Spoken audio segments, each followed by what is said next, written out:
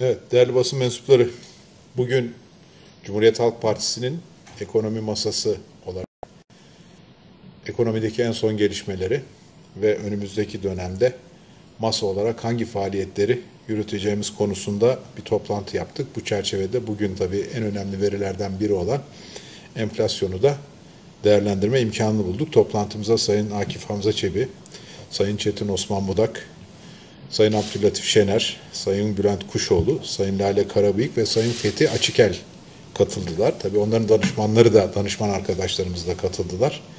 Birlikte bir e, değerlendirmede bulunduk. E, TÜİK, Haziran ayına ait tüketici ve yurt içi üretici fiyat endekslerini açıkladı. TÜİK'in tüketici enflasyonu beklentilerin altında gerçekleşti. Uzunca bir süredir de beklentilerin altında gerçekleşiyor. Bunun nedenleri konusunda birazdan size bazı bilgileri arz edeceğim. 2019 yılı Haziran ayında enflasyon bir önceki aya göre tüketici fiyatları bazında binde 3 oranında artmış. Yıllık enflasyonda yüzde 15,7 olmuş.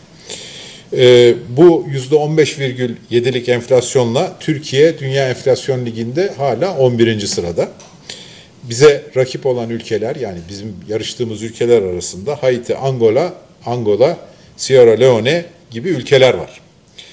Yine bir başka önemli gösterge ilk 6 aydaki enflasyon. Neden önemli? Çünkü memur maaşları, memur emeklilerin maaşları, Bağkur ve SSK emeklilerin maaşları bu ilk 6 aydaki enflasyona göre belirlenecekti. O da 5.0 e, memur ve memur emeklileri önümüzdeki dönemde yüzde altı zam alacaklar. Yüzde altı altını çiziyorum. SSK ve Bağkur emeklileri de yüzde beş zam alacaklar. Tabi burada birkaç gündür bunu konuşuyoruz. Hepimizin ve vatandaşlarımızın da vicdanını yaralayan çok ciddi bir çifte standart var.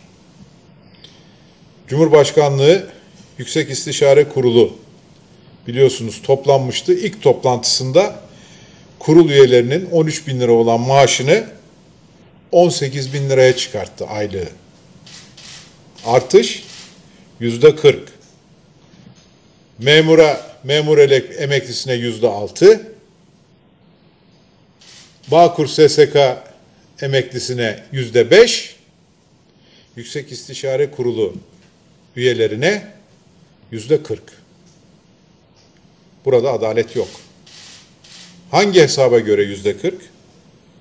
Bir de bu bunu sorguladığımız zaman bazıları buna edepsizlik diyor. Niye sorguluyorsunuz diyor. Bu maaşlar milletin devlete ödediği vergilerden karşılanıyor. Dolayısıyla milletimizin neden yüzde 40 bu maaşlara zam yapıldığını, burada bu kurulun hangi görevleri ifa ettiğini, hangi görevleri nedeniyle bu maaşları aldığını bir açıklaması gerekiyor. Kaldı ki bu kurul üyelerinin hepsinin emekli maaşı da var. Onların emekli maaşları da Türkiye Büyük Millet Meclisi başkanlarının emekli maaşına eşit. Yani Türkiye'deki en yüksek Cumhurbaşkanı'ndan sonra en yüksek emekli maaşlarından birini alıyorlar. Değerli basın mensupları,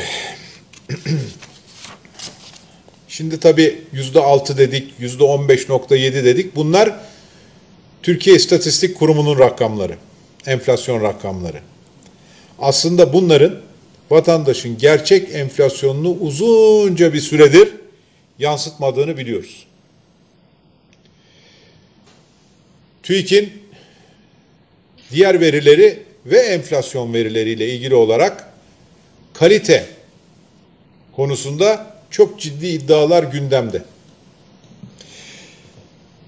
Bunları da biz araştırma önergeleri vasıtasıyla sorduk ama hiçbirine cevap alamıyoruz.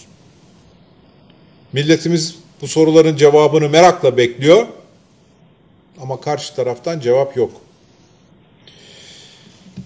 Hatırlayacaksınız bu yıl başında fiyat toplama konusunda gıdada iş yeri seçim kriterlerinde TÜİK değişiklik yapmıştı. eskiden çok sayıda yerden fiyat toplarken şimdi en yüksek satış yapan sınırlı sayıda yerden fiyat topluyor. Bu çerçevede baktığımızda gıda fiyatlarında ciddi bir aşağı doğru gidiş görmeye başladık. TÜİK endekslerinde, vatandaşın gerçek hayatında değil.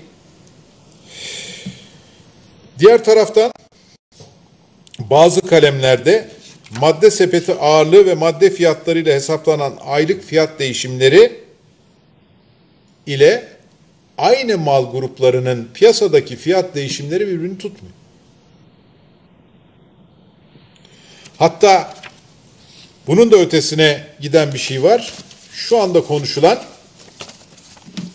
bazı üst düzey yetkililerin bu marketlere fiyat topladıkları bu sınırlı sayıda marketlere telefon açmak suretiyle bugün anketörlerimiz gelecekler fiyat almaya.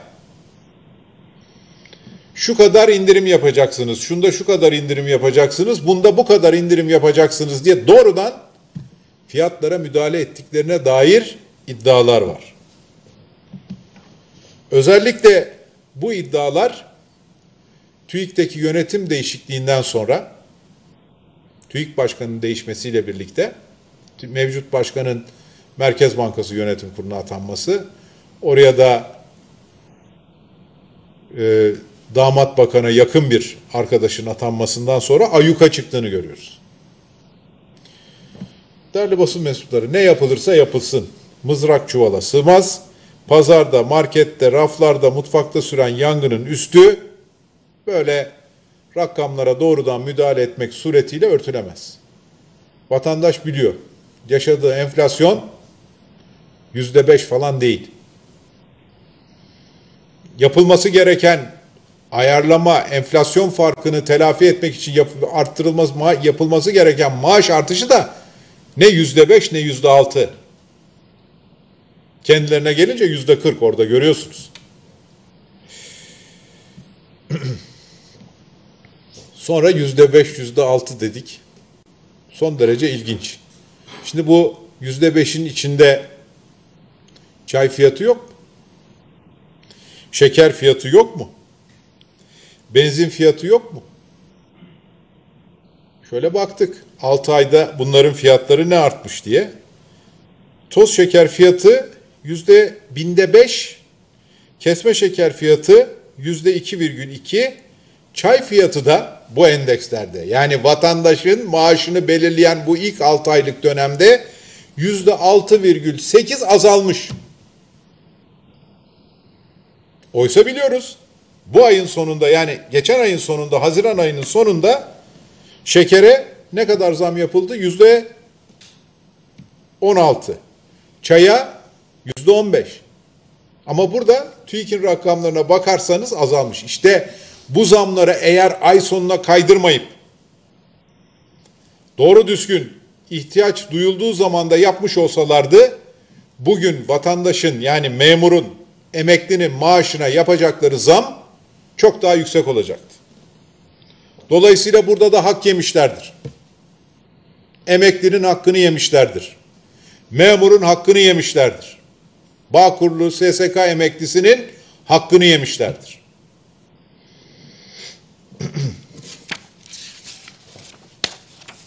Bütün bunlar enflasyon rakamlarının gerçekten ne kadar uzak olduğunu net bir şekilde ortaya koymaktadır. Buna rağmen bir başka husus daha dikkati çekmektedir. Binde üç dedim tüketici fiyatlarındaki artış. Buna karşılık para politikasının belirlenmesinde kullanılan özel endekslerde B çekirdek enflasyonu aylık yüzde 1,19 artmış. Bu ne fark? Biri binde üç, biri yüzde 1,19. 30 kat. C çekirdek enflasyonu ise yüzde 0,92 yani yüzde 1 artmış. Biri binde 3, biri yüzde 1. Bütün bunlar önümüzdeki dönemde enflasyonla ilgili sıkıntıların devam edeceğini gösteriyor. Sonuçta 12 aylık rakamlara baktığımız zaman tüketici fiyatları enflasyonu 3 puan düşerken çekirdek enflasyon, çekirdek enflasyon rakamları maksimum bir puan düşmüş. Yine üretici enflasyonuna da baktığımız zaman tüketici enflasyonu ile üretici enflasyonu arasında 10 puan fark var arkadaşlar. Bu ne demek? Talebin sınırlı olması nedeniyle esnaf, tüccar fabrikadan çıkış fiyatlarındaki artışı daha henüz tüketiciye yansıtamıyorlar. Ama fırsatı yakaladıklarında bu artışı yansıtacaklar. Dolayısıyla bu da enflasyon rakamlarına yansıyacak.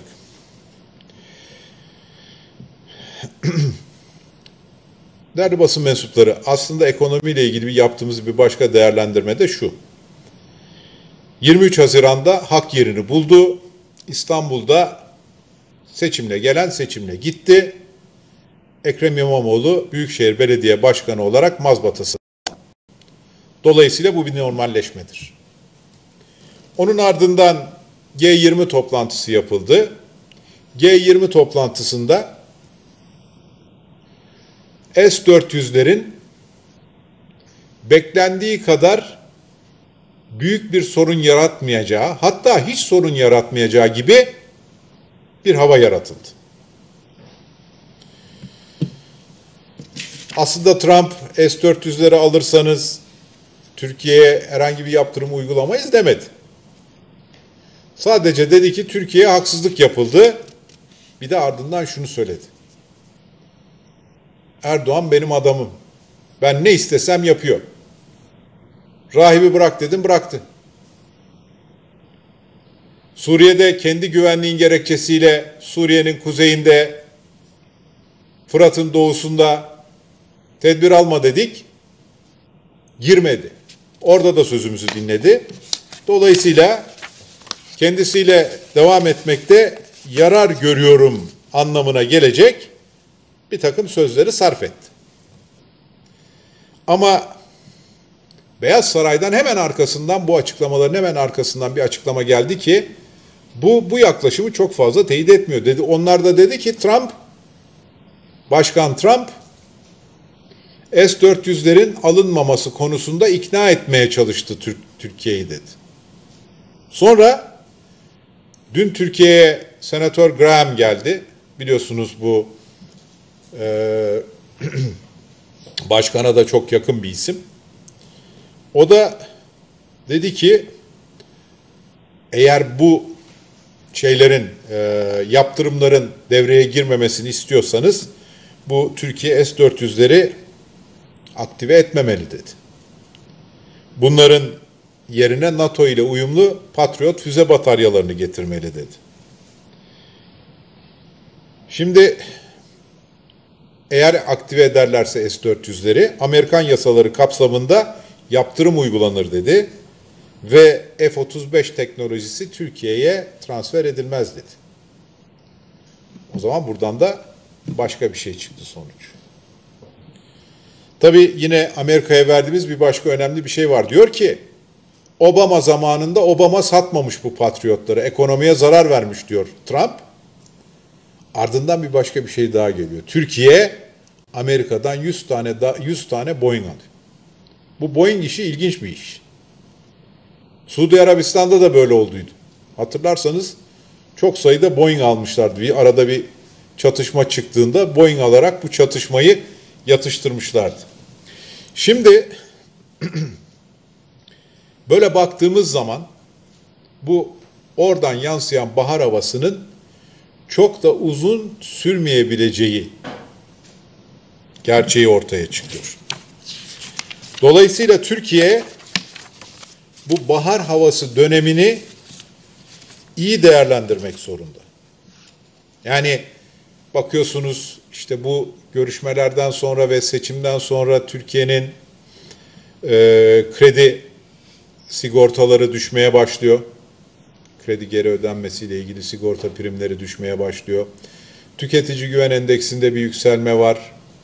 Satın alma yönetici endeksleri düzeliyor. E, faizlerde bir miktar düşme var. Türk lirası dolar karşısında yüzde iki civarında değer kazanıyor. Hatta ikiyi de geçiyor biraz. Bütün bunlar var. Ama öbür tarafta da dağlar kadar büyük bir işsizlik duruyor. Sanayi üretim endeksi mevsimlik düzeltilmiş olarak baktığınız zaman kapasite kullanımındaki yükselmeye rağmen düşmeye düşüyor, aşağı doğru düşüyor. Toparlanmanın çift V şeklinde olacağı ekonomide toparlanmanın açık seçik ortaya çıkıyor. Yani bir dip daha göreceğiz. O da ortaya çıkıyor.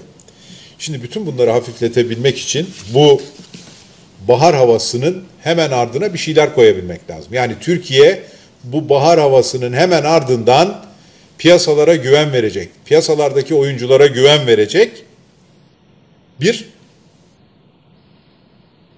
düzenlemeyi, bir programı, bir bütüncül programı devreye alması lazım ki ekonomi bu toparlan ekonomideki bu toparlanma e, bir saman alevi gibi parlayıp sönmesin.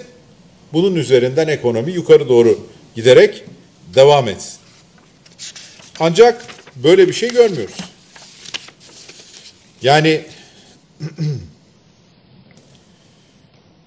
şunu hep söylediler. Dediler ki tek adam parti devleti rejiminde devlet çarkları çok hızlı dönecek. Aksamayacak. Ben sırf ekonomiyle ilgili kısmını söyleyeyim. Ekonomiyle ilgili bütüncül bir program ortaya konmadı. Hep aspirin tedavisi, hep pansuman tedbirleri. Hatta daha önemlisi anayasanın gereği olan kalkınma planı dahi hazırlanıp meclise gelmedi. Meclis yarın öbür gün tatile girecek muhtemelen. Ama plan daha hala ortada yok. E peki plan olmayınca programı neye göre çıkaracaksınız? Bütçeyi neye göre yapacaksınız? Bütün bunlar havada kalan sorular. Yani Türkiye bu dört yıllık seçimsiz dönemi çok iyi değerlendirmeli derken biz vatandaşımızın bize tevdi ettiği belediyelerde bu görevi bir hakkın yerine getirmek için her türlü hazırlığı yapıyoruz. Ama 24 Haziran'da vatandaş tek adam parti devleti rejimine yetkiyi verdi. Ama 24 Haziran'dan bu yana ekonomide hiçbir şey olmuyor. Ben tekrar şunu söyleyeyim. Harekete geçmek için kaybedilecek zaman yok. Her toplantıda bunu bir defa daha tekrarlıyorum. Yine biz ekonomi masamızda yapmış olduğumuz değerlendirmede bu hususu bir defa daha tespit ettik. Hem para politikası alanında hem de özellikle bütçede mali disiplin kaybolmuş durumda. Para politikasında da sürekli Merkez Bankası para basmaya zorlanıyor. Açık söyleyeyim bu ihtiyat akçesinin bütçeye devredilmesi falan para basmaktı. Biz bunları gördük. Yani tecrübeli arkadaşlarımızla beraber değerlendirdiğimizde bu yapılanın geçmişteki kısa vadeli avanstan hiçbir far hiçbir farkı olmadığını da hep beraber tespit ettik. Dolayısıyla bu yaklaşımdan bir an önce vazgeçilmelidir. Eğer özetlersem memurun, emeklinin, bağ kurulunun, SSK'nın hakkı yenmiştir. Bu yapılan zam TÜİK'in enflasyonunu belki yansıtmak anlamına gelmektedir ama vatandaşın gerçek enflasyonunu yansıtmamaktadır. Ekonomide bir bahar havası gibi bir gelişme var denmektedir. Ama bu da saman alevi gibi eğer tedbir alınmazsa, bunun arkasında doğru düzgün ayakları yere basan bir şeyler konmazsa, bunun da saman alevi gibi olup faturasında vatandaşımıza çıkmasından ciddi şekilde endişe ediyoruz. Ben hepinize çok teşekkür ediyorum. Sorularınız varsa alayım. Ama ekonomiyle ilgili lütfen. Bugün, bugün çünkü ekonomi masasının başkanı olarak ve ekonomiden sorumlu genel başkan yardımcısı olarak huzurlarınıza geldim. Ee, dolayısıyla e, sadece ekonomiyle ilgili olan soruları cevaplandıracağım ya da sorduğunuz soruları ekonomiye bağlayacağım.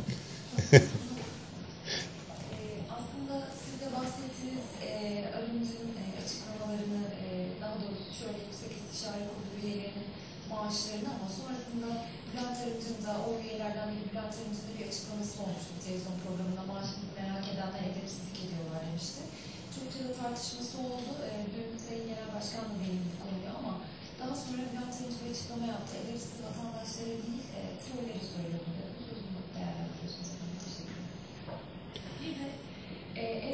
yaptırımlarının ekonomiye yansıması nasıl olur? Şimdi şöyle söyleyeyim.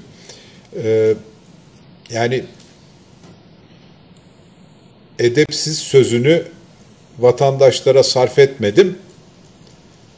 Trollere sarf ettim. Bunun bence hiçbir geçerli kim ne zaman söyledi bunu? Bizim maaşımızı merak edenler edepsizlik yapıyor dedi. Bu memlekette bir şeyi anlayacağız arkadaşlar. Vatandaş eğer vergisini ödüyorsa o vergiyle maaşı ödenenlere de hesap soracaktır. Bunun adı edepsizlik falan değildir. Sonra bunu çevireceksiniz. Troll yapıyor, bu yapıyor. Zaten ne sıkıntı olsa onların partisinin içinde herhangi bir sıkıntı her şeyi e, trollere mal, e, şey etme, mal etme konusunda ciddi bir alışkanlık edindiler. Ben şunu söyleyeyim. Herkes söylediğine dikkat etmeli. Hele hele bu ülkede uzun yıllar yöneticilik yapmış tecrübeli kişilerin her şeyden daha fazla sözlerine dikkat etmesi lazım. Kimsenin vatandaşa edepsiz deme hakkı yoktur. Evet. Ee, S-400 meselesine gelince, şimdi biraz önce söyledim. Yani şöyle bir hava yaratılmaya çalışılıyor. S-400'ler konusunda Türkiye'ye yaptırım uygulanmayacak. Türkiye S-400'leri alacak ama yaptırım uygulanmayacak havası yaratılmaya çalışılıyordu. Hatta Başkan Trump'ın bu konuda e, garanti verdiği noktasına kadar da bir takım söylemler oldu. Ama öyle anlaşılıyor ki Trump'ın Trump'ın oldukça yakınında olan senatörün ve bu yasaları çıkaran senatörün laflarından öyle anlaşılıyor ki hayır. S-400'leri alırsak bir yaptırım olayı olacak. Ha bir iddia var. Başkanın yetkisi var. Belki bu yaptırımlar arasından en hafiflerini uygular. Ama bir tane daha şey var ki o başkanın yetkisinde değil. F-35'leri alamayacağız. Bu da bu da ister istemez Amerika ile aramızda ki sıkıntıları, tansiyonu yeniden arttıracak. Ekonomiyi etkiler mi? Yani şöyle etkiler. Tabii e, dünyanın en büyük ekonomilerinden biriyle Türkiye arasında bir e, çekişmenin sonuçları konusunda e, bunu bir risk olarak piyasaların bir kısmı algılar. Ama bu risk de göğüslenir. Evet.